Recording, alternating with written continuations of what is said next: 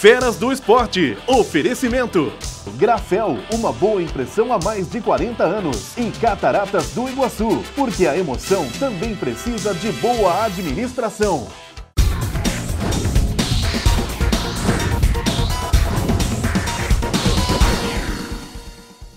Muito bem, estamos chegando com mais um Feras do Esporte aqui pela sua televisão, canal 10, um jeito inteligente de fazer TV. Feras do Esporte de hoje tem convidadas muito especiais. E a gente grava com muito carinho esse pessoal novo, porque a exemplo do que fazemos todos os dias aqui na nossa televisão, nós temos um arquivo desde 1980, com muitas reportagens daqueles jovens que hoje estão aposentados, daqueles que foram atletas em todas as modalidades, enfim, no quadro que a gente tem Era uma Vez. Quem sabe, daqui a alguns anos, quando essas meninas estiverem lá na seleção brasileira, a gente mostra essa matéria aqui. Como fizemos no último programa, mostrando a Bruna, se não me engano, é Bruna, né? Que era artilheira, é a jogadora de basquetebol, que iria para a seleção brasileira. E hoje ela está lá. Nós mostramos isso aqui. Então, eu estou com muito prazer trazendo duas jovens. Uma tem só 15 anos, a outra só 17 anos. Para mulher, a gente não fala idade, mas jovens como elas, não tem problema nenhum, é até um orgulho. Catiele Aguilera, tá tudo bem com você? Seja bem-vinda. Tudo certo. Pode falar tá bem. tranquilo. Tranquilo, né? E a Bruna Santana. Tudo bem, Bruna? Tudo ok. Tudo bem. Elas estão um pouquinho tímidas, mas elas já vão soltar. Tá lá e tal.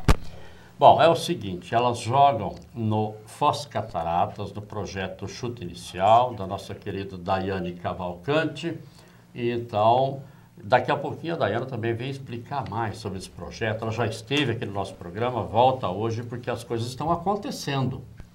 Mas hoje nós tivemos já pela manhã uma homenagem a Bruna Santana, medalha de ouro do projeto Gols pela Vida, que é do Rei Pelé.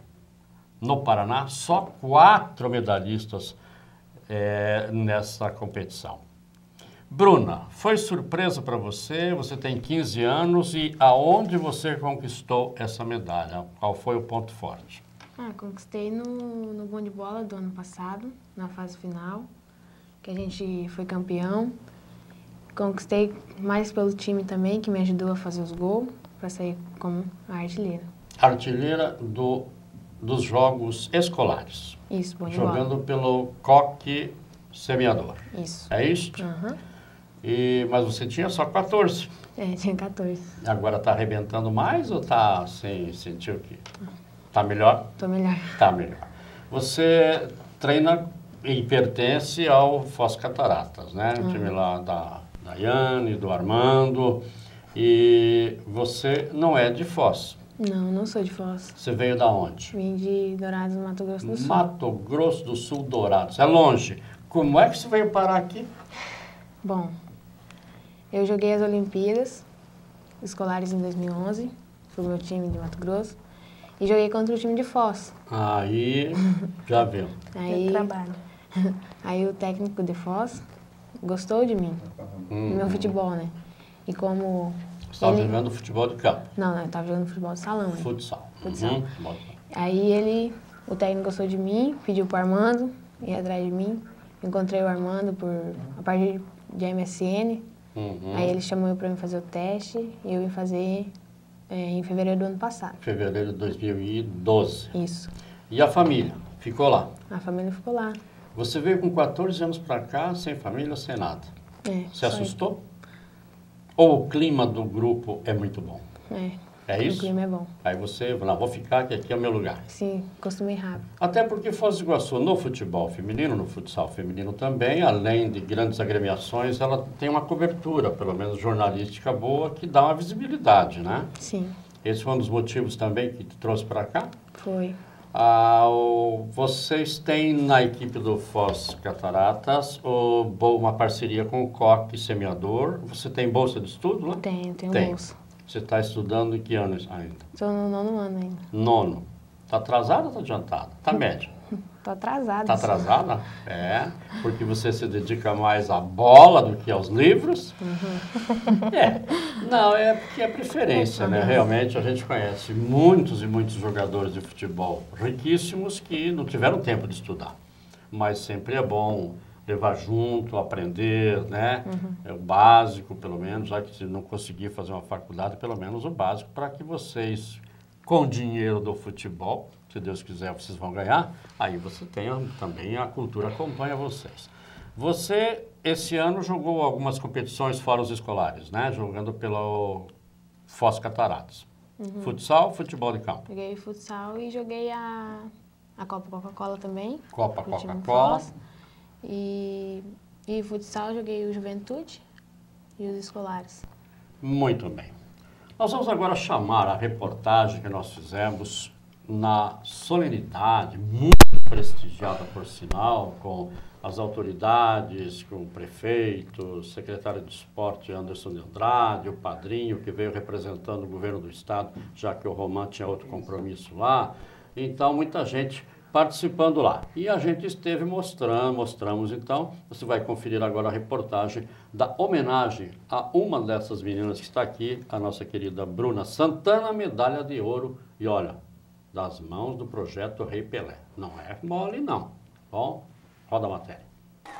O Colégio Coque Semeador, em Foz do Iguaçu, viveu uma manhã festiva, quando autoridades se reuniram para prestigiar a entrega da medalha de ouro à atleta Bruna Carolina Santana, integrante do projeto social da Associação Atlética Foz Cataratas. Ela foi uma das quatro homenageadas pelo programa Gols pela Vida, que tem como padrinho o Rei Pelé. Bruna foi artilheira nos Jogos Escolares Bom de Bola 2012 e recebeu uma das medalhas de ouro produzidas pela Casa da Moeda do Brasil, que representam os gols marcados pelo atleta do século.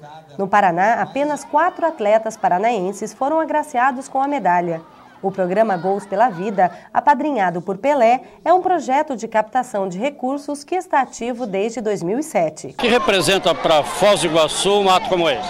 Acho que principalmente o reconhecimento e o incentivo que as modalidades de base vêm tendo. Né? A Bruna é uma atleta de um projeto maravilhoso, que já vem colhendo frutos há muito tempo, é uma referência só na, não só no estado, também como no Brasil.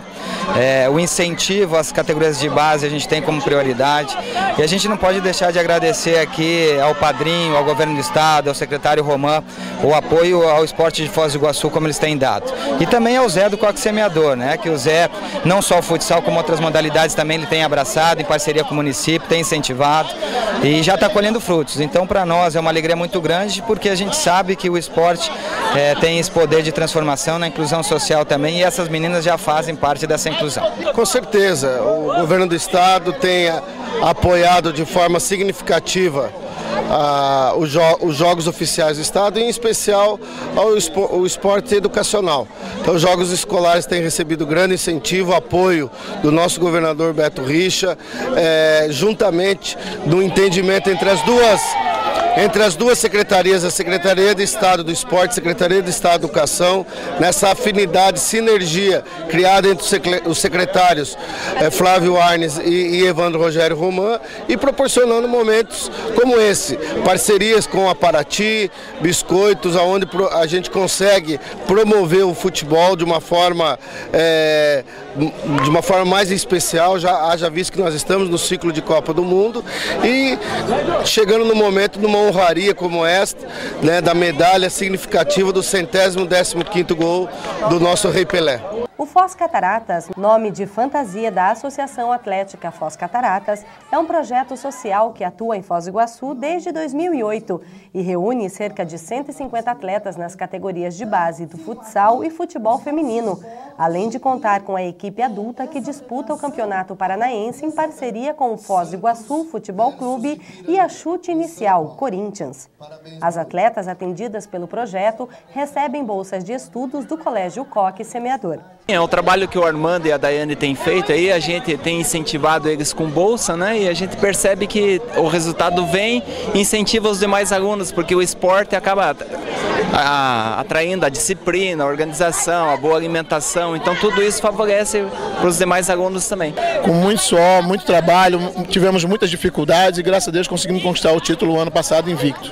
E esse prêmio representa para todas, né? É, não foi surpresa porque a gente sabia do talento dela. Foi um pouquinho aprimorado, mas, né, graças a Deus, dos 14 gols que ela fez, se eu não estou enganado, oito foram de bolas paradas. De direita e de esquerda, não foi só de uma perna só. Tá feliz com a homenagem com a tua colega? Sim, sim, estou muito feliz. Ela, ela joga muito e também é uma honra para o time, né? Esse é bom para todo mundo. Sim, certeza. Ela merece, ela foi muito bem ano passado, ter ganhado a medalha. Eu estou muito feliz por ela ter trazido essa medalha para o município. Bom, estamos de volta então. Você viu aí.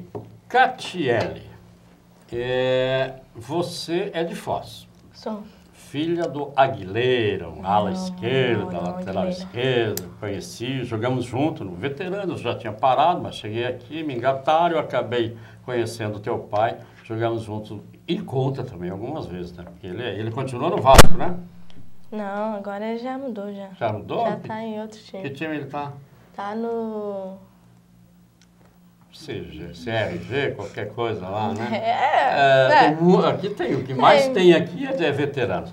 Mas eu jogava com ele no Vasco, lá do Torfava, Foi treinador Lúcio, também do Vila Paraguai. Lá. Ah, ele é treinador também, isso, é, no Campeonato Municipal, né? É. Isso, porque ele já é veterano, tem mais de 50 e tal. Você tem irmãos, irmãs? Tenho uma irmã. Irmã, mais nova ou mais velha? Mais velha. Mais velha. Joga? Não. Não. Resolveu trabalhar? Só, só trabalhando. Ela resolveu trabalhar. Resolveu. Mas você falou, eu não vou trabalhar, não, eu vou jogar futebol. Jogar, né? É isso? Tá estudando? Pai, pai. Hum. Acompanhava o pai no futebol, aí... Desde criança. Gostei. Vivia chutando uma bola e... E naquele tempo que você era criancinha, não tinha jogo para mulher, né? Não, se, se, misturava com os meninos, pelo jeito, porque não, não, não existia meninos comecei... jogando. Era muito pouco, né? Era. Mas eu comecei assim mesmo com sete anos no time do Joel. Do Joel Coelho? Coelho. É. Isso. É. Mas já com meninas só, né? Só com meninos. Só com Mas era só que era mais velho que eu. Hum. Eu tinha seis, as meninas tinham três e 14. Você é canhota. Canhotinha. Teu pai também, né?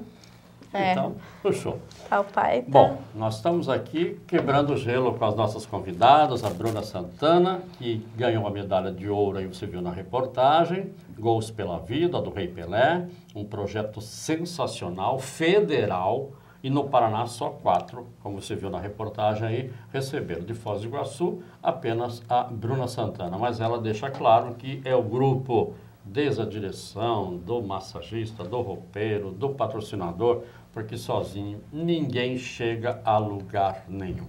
E a Catiele Aguilera, que está aqui ao meu lado, também está aqui por algum motivo muito especial.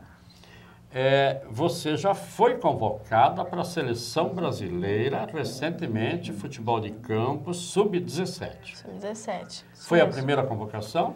Foi. Teve uma convocação que foi de treino. Para a seleção? Para a seleção. Isso Fiquei quando? 15 dias. Foi em agosto. Agora? É. E agora? Mas daí você se firmou na seleção, está lá dentro? Aí fiquei 15 dias, aí eu vim para casa. Aí hum. teve outra convocação que foi para o Sul-Americano. Foi confirmado. Daí você foi... jogou então o Sul-Americano de futebol sub-17. Foi aonde? Foi no... Em Assunção. Em Assunção, no Paraguai. Em Assunção, no Paraguai. E vocês se saíram bem? É. Mais ou menos? Mais ou menos. Mais ou menos. Mais ou menos, foi. Por que mais ou menos? Faltou o quê? Faltou, acho que mais garra do time para porque tinha que classificar e deu uma complicação lá nos jogos, aí precisava de resultado e não aconteceu. Não aconteceu. É, a Copa tipo Libertadores, Sul-Americano, nós estamos vivendo aqui a Copa Libertadores da América, com 10 países, 12 equipes. Então temos belos times aí, Colo-Colo do Chile, o Boca Juniors da Argentina. Então, e do Brasil nós temos São José, o último campeão da Copa do Brasil, e o ADI Foz Cataratas, que é o anfitrião. Então a gente sabe da confusão que é. Hoje, por exemplo, teria um jogo às 5, já foi para as 8. Primeiro era as. É, mas, enfim, a Sul-Americana é complicado, e depender de resultados de outras seleções não é Não é fácil, Agora, você vestindo a camisa da seleção brasileira, dá orgulho, né, Catiele? Nossa, Você. uma emoção, né? Ver aquela blusa com meu nome ainda, É. com amarelinha. Jogamos todos os jogos com amarelinha. Uhum. E Fez gols? Fiz de pênalti. Fez, fez. Pênalti. Você joga mais no meio ou mais avançado na seleção? Eu sou lateral. Ah, você esquerda. joga na lateral, Lateral esquerda, apoiando. Apoiando. Ele apoiando. vai é a mesma posição do, do Foz Cataratas? Sim, É, lateral. lateral esquerdo. Quem é que divide com você lá na seleção, ó, primazia de vestir a camisa? Tem alguém da mesma posição? Foi uma de Santa Catarina. Santa Catarina, mas não deu para ela, né? Você foi Não, titular todos foi, os jogos? Todos os jogos. Só o último que eu me machuquei, aí o segundo tempo eu não voltei Sim, mais. mas saiu jogando em todas as partidas. Isso é bom sinal, porque só vai para a seleção principal, no masculino é a mesma coisa, aqueles atletas selecionados na base, porque aí já se habitua com disciplina, respeito, conhecimento, é, enfim, tudo que acontece dentro, né, é preciso que sejam moldados desde jovem. Como você já foi? Você foi chamada antes do 17? Não. Não, foi Não? a primeira É a vez. primeira. A primeira vez. Mas se foi chamado no 17 e deu conta do recado, saiu como titular, está pintando aí um futuro brilhante para você, é verdade? Se Deus quiser, né? É, Vamos né? ver, quero agora tá no sub-20. Pelo menos você já, com 17 anos, já conheceu outros países, outras cidades grandes, Rio de Janeiro. bons hotéis, já foi para o Rio de. Janeiro, né? Granja Comari, ficou lá onde a seleção brasileira principal de futebol masculino fi- ficou muitos e muitos anos, era Vai referência. ficar mais top lá, que estão reformando agora. Estão mudando tudo, Estão né? reformando os quartos, tudo lá em cima. E é um ambiente totalmente diferente, né? Super legal, né?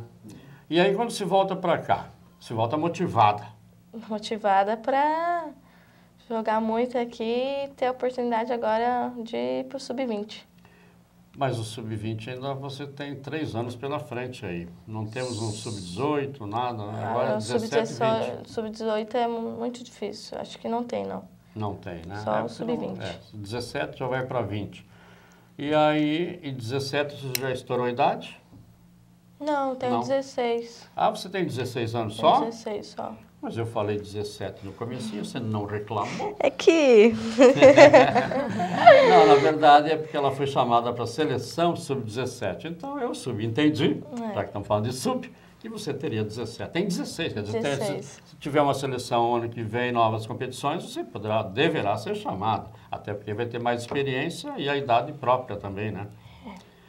E a Bruna vai ficar torcendo pra, por ela aqui, com certeza, né? Com certeza. Como você também. Vocês, vocês jogaram juntos nos escolares? Sim, todos os jogos nós estamos jogando juntos, estamos fazendo a dupla. Inclusive aqui no programa, viu que legal? É. Agora, é, Bruna, a Catiele lança, entrega redonda, cruza ou ela é fominha? Bom, Fala sério.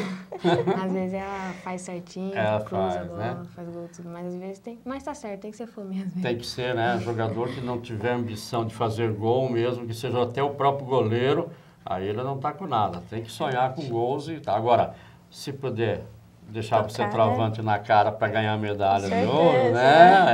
É. Certeza. Ela vai ter que pagar o churrasco, a festinha para vocês Fazer a todas, festa, né? é. Ganha a medalha do Rei Pelé, o Gols pela Vida, uma medalha importantíssima, né? Você já se deu conta da importância dessa medalha para você? Ou ainda não caiu a ficha? Não, ainda a ficha tá caindo. Está caindo, né? Porque isso é alguma coisa sensacional. Pode mostrar a medalha aqui, depois a gente faz os detalhes, né? É, acho que é aí. E também o, recebeu hoje pela manhã, vamos mostrar o quadro também. O quadro é o certificado da veracidade da medalha. Que medalha hoje, principalmente em algumas modalidades, enquanto o Celso mostra, eu vou falando, em algumas modalidades de artes marciais, por exemplo, eu já fui a mais de 100 sul-americanos mais de 100 brasileiros. Junta lá três, quatro cidades faz o brasileiro disso, o brasileiro daquilo. Então tem que ser realmente alguma coisa oficial como é esta aqui. Então, Foi merecedor. Merecedor. E além de merecimento, alguma coisa justa, que realmente seja aquilo que esteja em jogo. É sul-americano? Então tá, como nós temos aqui a Copa América, oficial, né, pela FIFA, então alguma coisa bem certa. Esse negócio de fazer torneio e dar um nome maior do que a promoção, confesso que já deixei até de fazer algumas coberturas nesse sentido, por entender que o evento não era tudo aquilo. Não é juntando 10 cidades aí, uma do lado, do lado da fronteira e tal, que o negócio é sul-americano, é internacional. Não, não é por aí. Então, é um torneio quase que regional. Ah, Catiele, você tem sonhos na vida, né? Claro, 17, 16 anos, já foi para a seleção brasileira. Você pretende continuar aqui? Já recebeu outras ofertas, agora mesmo lá na seleção brasileira ou não? Ainda não. Quando é, é, ano passado eu recebi do Palmeiras. Do Palmeiras, São Paulo. Mas é sempre assim, final do ano que vem essas coisas. Uhum. E Mas... o que, que você pretende, na verdade? Até agora eu pretendo ficar aqui ainda. É, né? Ficar aqui. Está estudando, está formando caráter, se formando cidadã, família está aqui. Família tudo junto, eu estou fazendo o que eu quero e tô, conquistei um sub-17 seleção. É. Espero continuar eu aqui. pergunto isso porque eu já trouxe aqui umas 10 jovens dos dois times feminino, futsal, futebol, e todas estão vindo. Lá no ADI, por exemplo, tem alguém que chegou agora do Pará. Veio lá de Belém do Pará. Isso porque ouviu falar do Foz e aqui tem visibilidade, segundo ela. Eu acho que a Bruna também veio do Mato Grosso por isso, porque aqui tem cobertura, tem visibilidade. E o, o, os dirigentes do futebol feminino e do futsal feminino já estão de olho nas atletas daqui. Então, acho que não há mais aquela necessidade, como nós temos o futebol de campo masculino, por exemplo, quiser aparecer tem que sair daqui, porque aqui está morrendo. Aquele debate continua em pé. Só estamos esperando terminar a Libertadores, que está todo mundo envolvido, depois nós vamos fazer o debate. Por que, que o sub-18 masculino do Ivan Carlos não tem apoio? Então, os meninos lá estão com dificuldade até para comer um franguinho. Então, nós vamos levantar tudo isso.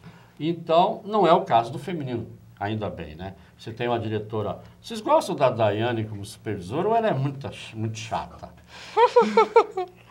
o ah, duro é que ela está do lado de é. lá e daqui a pouco ela vai sentar aqui. Mas não, ela. Tem vezes que ela é, é legal, exigente. tem vezes que ela é chata. Depende do dia, né? É, depende do problema, humor dela. E a mulher também tem o problema da TPM. Da é. Aí sai de baixo, né? Tem que ficar longe um pouquinho. Pois é.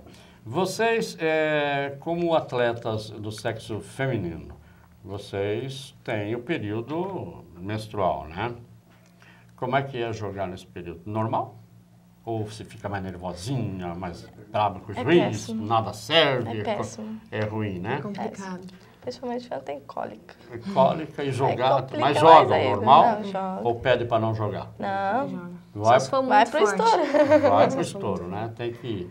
É uma das formas também, claro, de desenvolver também tudo isso. Eu conversava, inclusive, com o Brito Dornelles, que é preparador físico do ADI Foz Cataratas, que está na, na, Libertadores, e a gente comentou muito sobre isso. O ciclo menstrual da mulher, a, o preparo físico tem que ser outro, a conversa tem que ser outra, tem que entender esse período da mulher. Inclusive, eu não sei se vocês recebem, vocês recebem orientação, quando é, o, o técnico sabe quem está, quem não está. Daí ele já recomenda, calma, não briga com o árbitro, não discute, ou ele deixa por vocês. Deve ter uma orientação, né? Bom, eu fico mais.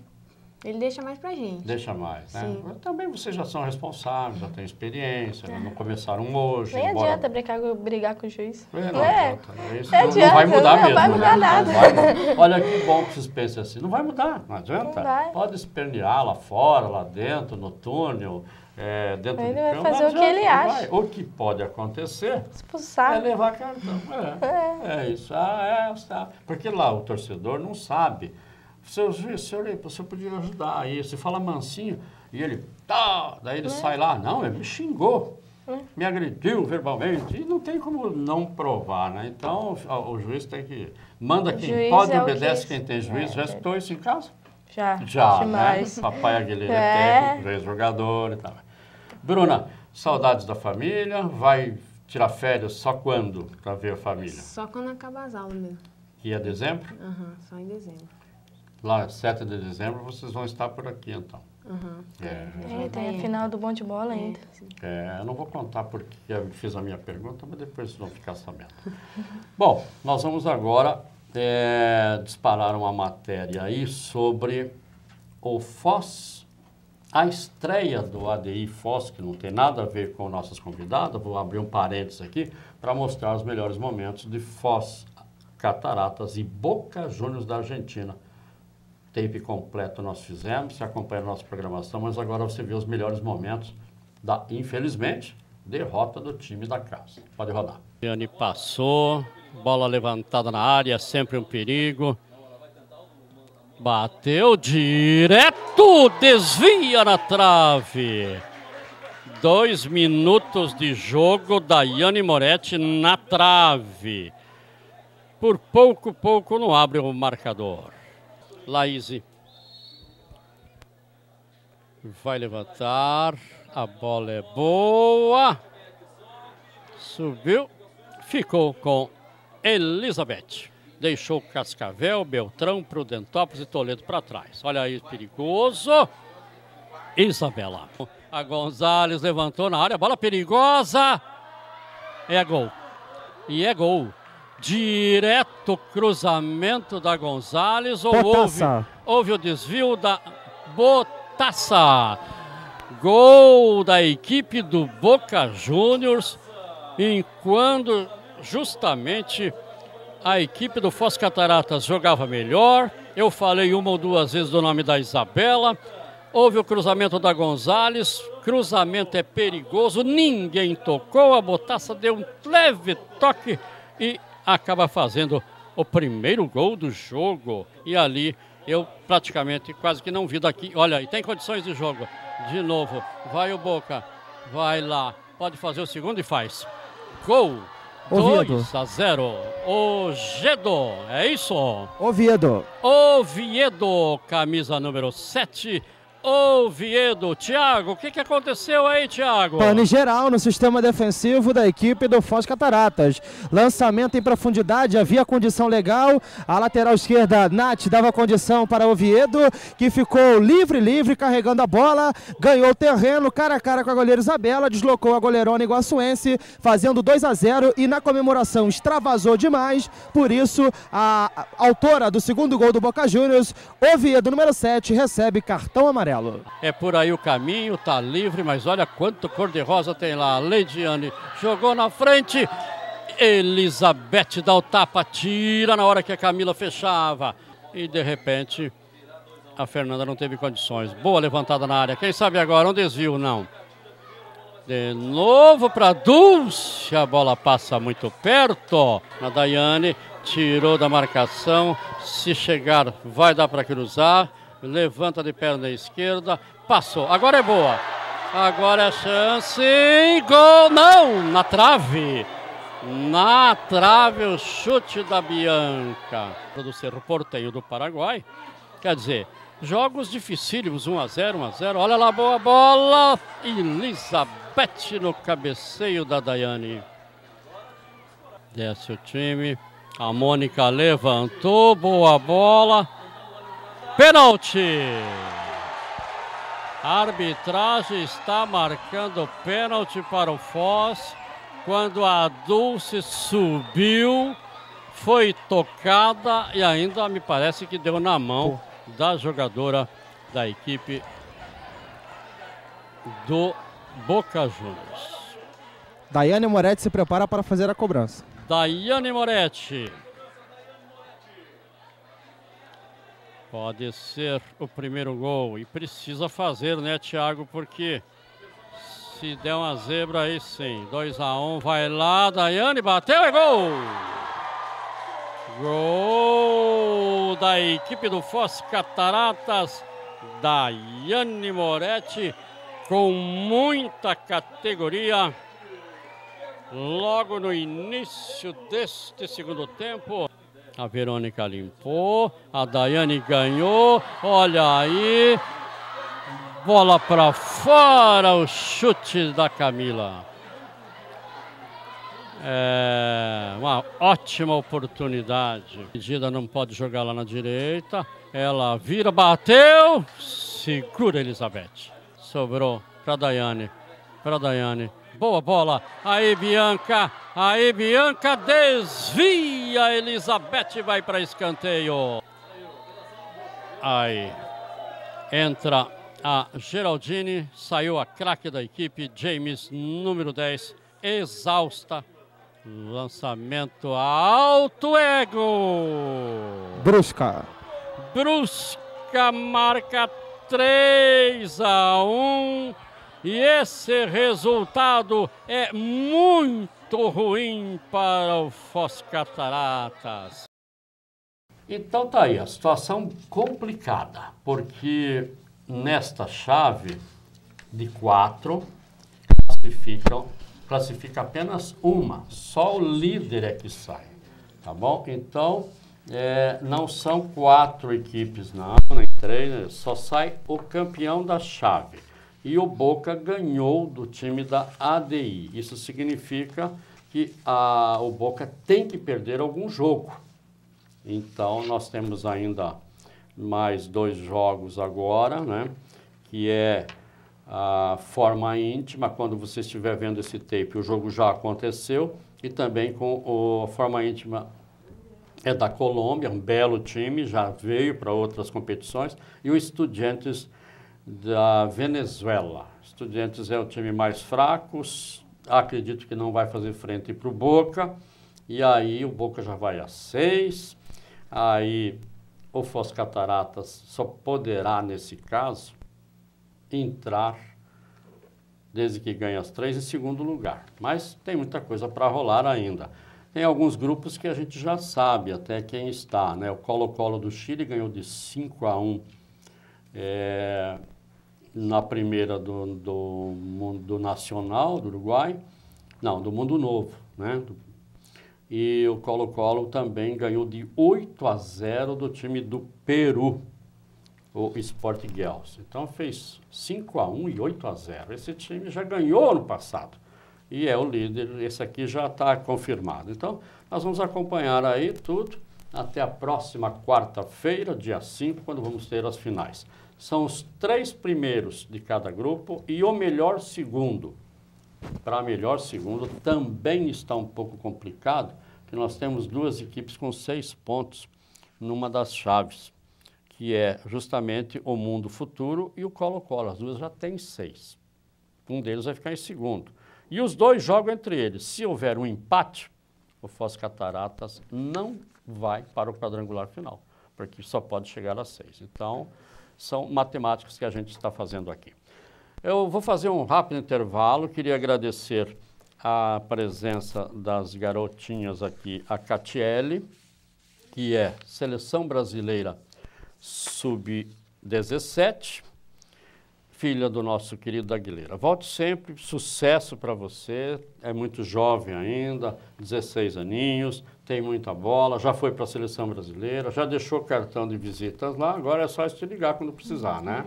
É, é isso? É Você acha que foi bem lá, né, no Sul-Americano? Acho que foi. Foi, e né? Eles me, é, eu passei confianças para ele principalmente nos pênaltis. É. Bola parada, escanteio, falta, pênalti. Foi mais o, assim, os pênaltis. Você é cobrador oficial? Nesse caso, foi? Não? Foi. É, então, tá com tudo para continuar nos anos seguintes. Parabéns. Obrigada. Boa sorte, um abraço pro papai Obrigada. Tá bom? Bruna, que o pessoal pode assistir lá no Mato Grosso pelo site www.tvcanal10foz.com.br. Tá? O programa vai uhum. estar postado lá, além de passar sempre às 13 horas e às 22h30. De vez em quando há uma diferença de alguns minutos, 10, 15, mas isso é normal em televisão. O Jô Soares já cansei de ver ele meia-noite, mas também já vi as duas da, da manhã, né? É, depende da programação, mas normalmente são esses os horários. Bruna, parabéns pela medalha de ouro, gols pela vida, nos jogos escolares do ano passado. Há possibilidade desse ano repetir? Eu espero, né? Tá na fila? Tô na fila. Tá entre os favoritos? Bom, não sei ainda porque eu não joguei a fase. Falta a fase, a fase final, né? Uhum. E vai ser aonde? Tem uma macro agora, dia 8, a dia 10, que vai ser em Assis. E a fase final, que vai ser em Astorga. Astorga, norte Isso. do Paraná, pertinho de Maringá. A gente conhece lá também. Muito bem. Parabéns pela conquista. Parabéns, dá os parabéns a toda a equipe. Cumprimento e pague o churrasco para as meninas que colocaram você na cara do gol. É, vai esquecer, né? Hoje você já agradeceu lá, eu vi, uhum. na solenidade, na matéria também. Mas sempre é bom lembrar, né? Ninguém faz nada sozinho. E o merecimento também não pode ser para todos, né? Para todas. Então, alguém tem que ganhar. Você destacou um pouquinho mais, levou e tomara que você ganhe outras medalhas. E torcer para você também valorizar isso que você ganhou. Hoje eu sei que ainda não caiu a ficha, mas lá na frente você vai dar muito valor a essa conquista. Por isso que você está aqui também no nosso Feras do Esporte de hoje, tá bom? Obrigada. Obrigado a vocês. Obrigada. Um rápido intervalo e nós já voltamos com mais informações aqui no nosso Feras do Esporte. Obrigado, vale a pena. Feras do Esporte. Oferecimento. Grafel, uma boa impressão há mais de 40 anos. Em Cataratas do Iguaçu, porque a emoção também precisa de boa administração.